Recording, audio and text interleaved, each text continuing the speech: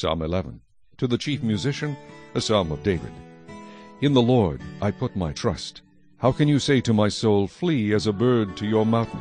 For look, the wicked bend their bow, they make ready their arrow on the string, that they may shoot secretly at the upright in heart. If the foundations are destroyed, what can the righteous do? The Lord is in his holy temple, the Lord's throne is in heaven. His eyes behold, his eyelids test the sons of men. The Lord tests the righteous, but the wicked and the one who loves violence his soul hates.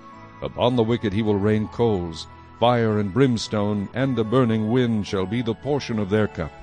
For the Lord is righteous, he loves righteousness, his countenance beholds the upright.